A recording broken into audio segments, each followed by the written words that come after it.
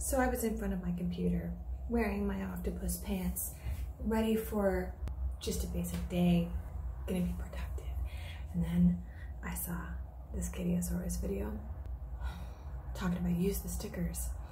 And my therapist prescribed me art for my healing.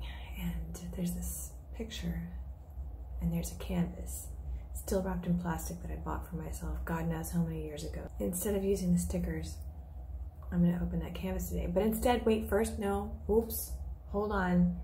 We gotta have a cup of tea because hydration. Tea! Oh, yeah, but, ooh, dirty sink. And then there's, oh, you know, you gotta put on some lip balm and, get, oh, wait a second.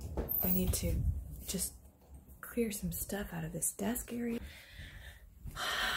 So I just started the tea real quick, put some baking soda in the sink for later.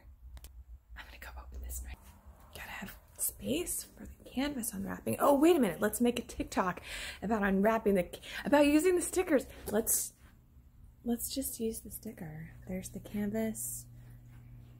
I used stickers throughout this year because it's been an extremely important form of, I don't know, self-validation for me.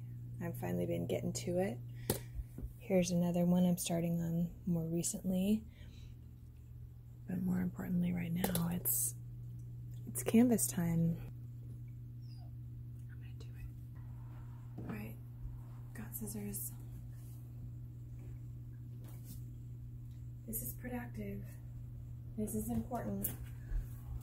This is prescribed by my professional therapist. This feels good.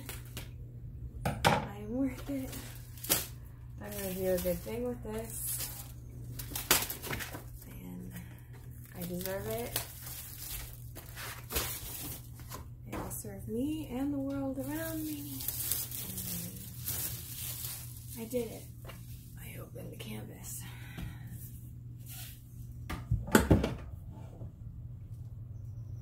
Here's oops. Here's